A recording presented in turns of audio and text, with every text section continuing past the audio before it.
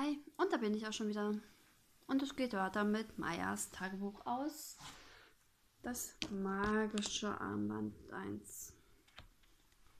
So, viel Spaß. Wir machen weiter mit Tag 4. Ich hatte die blöde Projektarbeit vergessen und setzte mich dran. Donnerstag, oh nein, schon Freitag. Zählt das trotzdem für Donnerstag? Weil ich ja rückwirkend schreibe. Ach ja, ich nehme es mal an. Und es sind erst zwei Stunden vergangen, seitdem der neue Tag begann und der alte sich verabschiedete. Er würde nie wiederkommen. Er ist erloschen, wie ein Stern oder eine Kerze. Was geschieht mit so einem Tag? Er ist verschwunden, passé, aber irgendwie immer noch präsent. Das ist schon eigenartig. Ich glaube, wenn man in die Vergangenheit reisen würde, wäre er wieder da. Aber es wäre doch komisch, oder? Weil er ist ja eigentlich vorbei. Ich würde gerne in die Vergangenheit, Vergangenheit reisen. Ich wollte nichts verändern. Aber die eine oder andere Situation, die droht zu verblassen, würde ich mir noch einmal ansehen wollen. Hm. Ich würde auf ein legendäres Konzert der Beatles gehen oder von Michael Jackson. Würde mir den Hype um Grease näher betrachten. Oh, ich würde mit Jane Austen Tee trinken. Aber eigentlich würde es mich mehr reizen zu sehen, wie Shakespeare seine Werke schrieb. Es gibt ja Gerüchte, die besagen, er sei nur ein Schwindler. Aber ich bin klar Team Shakespeare.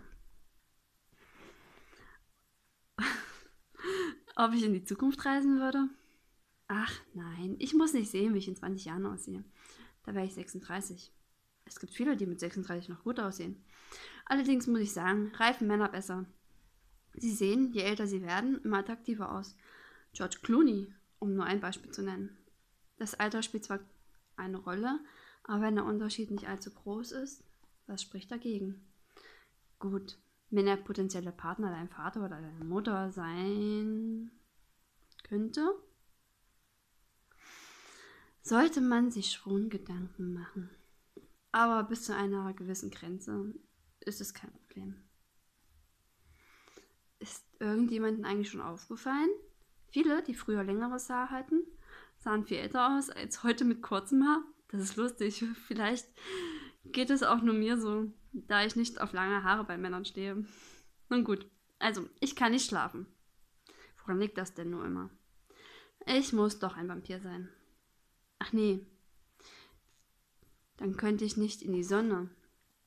Ohne zu glitzern oder ohne einen Ring. Hm. Vielleicht bin ich auch einfach nur nicht so müde.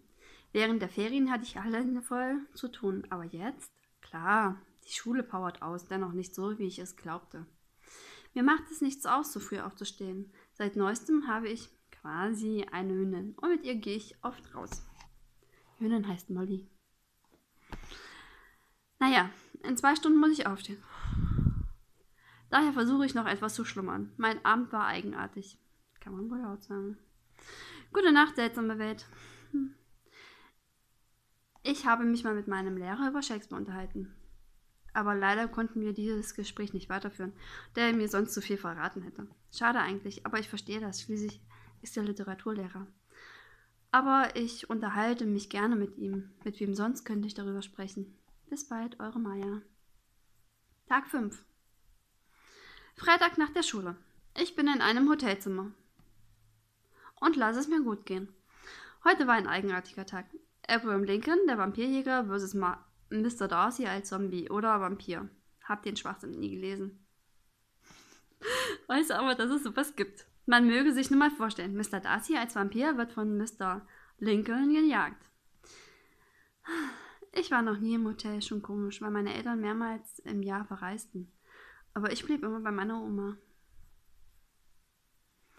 Man kann auf dem Bett umherspringen, ohne dass man Ärger bekommt. Duschen so oft man will ist ja alles im Preis berechnet.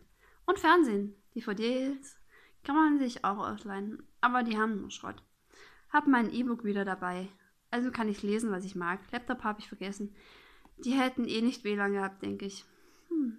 Aber ich habe eigentlich noch Hausaufgaben zu machen. Werde ich gleich hiernach angehen. So ein Tagebuchprojekt hat auch was Positives. Schließlich vergisst man so nichts. Oh, noch was Gutes hat so ein Hotel. Man kann wach bleiben, solange man will und den Zimmerservice auch zu den unmöglichsten Zeiten rufen. Äh, ein Fitnessstudio gibt es auch hier drin. Und Schwimmbad. Aber ich habe kein Bikini dabei. Schade eigentlich. Weiß nicht, was ich noch schreiben könnte. Daher beende ich dies erst einmal und setze mich vielleicht später nochmal dran. Nachtrag. Habe dann doch die Zombie-Version von Stolz und Vorurteil gelesen. War okay. Und Abraham Lincoln als Vampirjäger ebenso. Aber ich frage mich trotzdem, wer nur auf solche seltsamen Ideen kommt. Ich mich auch. Ach ja, der Autor hat beides geschrieben. Gut erklärt einiges. Aber unterhaltsam. Wenn man den Kopf nebenbei schüttelt, ist es trotzdem. Aber unterhaltsam. Auch wenn man den Kopf nebenbei schüttelt, ist es trotzdem. Eure Maya. Sorry für den Versprecher. So, Tag 6. Heute hat Heute ist nicht wirklich was los. Das Wetter ist schlecht. Und ich will einfach nur schlafen. Es muss heute mal mit diesem kurzen Eintrag reichen. Gab es eigentlich eine Vorlage? Wie viel wir schreiben mussten? Jeden Tag oder wie viel? Vergessen? Na egal. Hm. Manchmal hat man solche Tage, an denen einfach nichts passiert. Und alles irgendwie. Eure Maya. So, Tag 7. Tja, und schon war es Sonntag. Hm. Hab wieder nichts zu erzählen. Hab einen Film geschaut, der wirklich interessant war. Die Frau des Zeitreisenden. Hab mir gleich das Buch runtergeladen. Ging doch mit dem Internet. Ich frage mich, ob ich das könnte, mein ganzes Leben auf jemanden zu warten. Während ich so darüber nachdenke, ja, ich könnte es. Es wäre schwer, aber möglich. Wenn man wirklich liebt, gibt es keine Grenzen, weder Zeit noch Raum noch andere Umstände. Die Liebe kann uns mit einem Mal erwischen, überwältigen und einnehmen. Aber es kann auch sehr schwer sein, sie wahrzunehmen, zu halten, zu realisieren. Aber was weiß ich schon. Dennoch frage ich mich, kann man tatsächlich schon als Teenager wissen, ob man nur diese eine Person ein ganzes Leben lang lieben kann? Die Frage lasse ich mal im Raum stehen. Hm. Zeitreisen wären wirklich toll.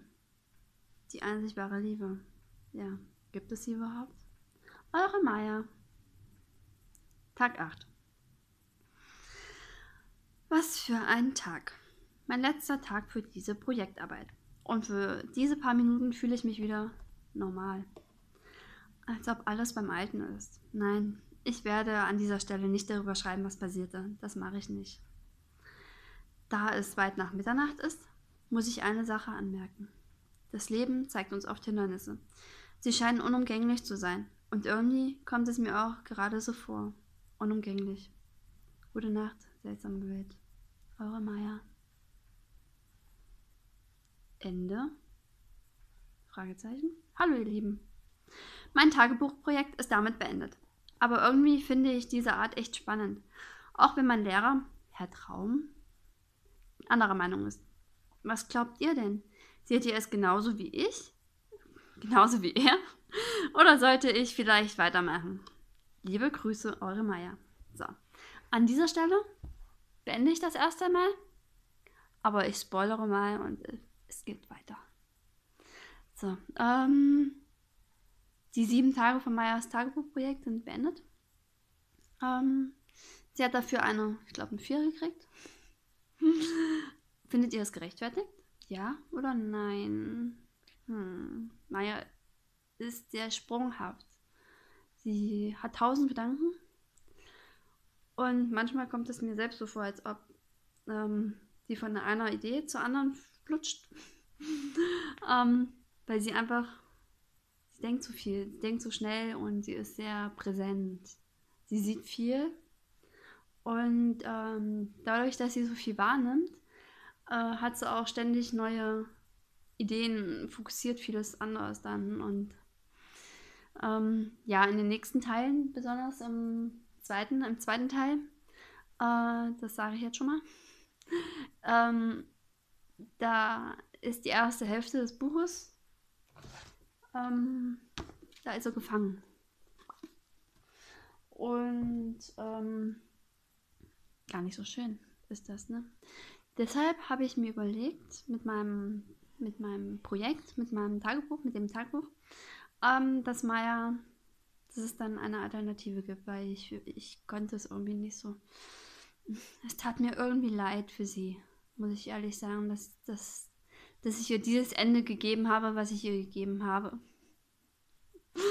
ähm, dass sie dieses Ende bekommen hat. Ähm, das war so. Hm. Ich hatte mehrere Ideen im Kopf. Und, aber für eine musste ich mich halt entscheiden. Und, aber nur dadurch, dass ich ihr das Ende von Teil 1 gegeben habe, ist, war es mir möglich, Teil 2 und Teil 3 zu schreiben. Ansonsten wäre das nicht möglich gewesen. Aber nun wünsche ich euch erstmal viel Spaß weiterhin. Und ähm, ich werde gleich das nächste Video aufnehmen. Bis bald dann. Eure Janine.